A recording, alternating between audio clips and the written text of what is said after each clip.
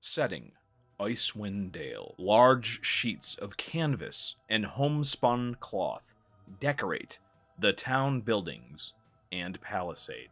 Many of them carry images of sled dogs and clan markings.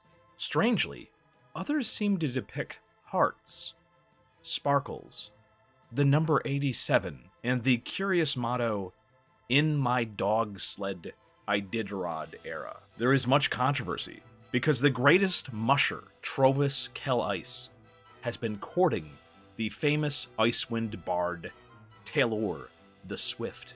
Many feel that their canoodling has overshadowed the great competition of man and beast, and the sport is being overrun by gossipers.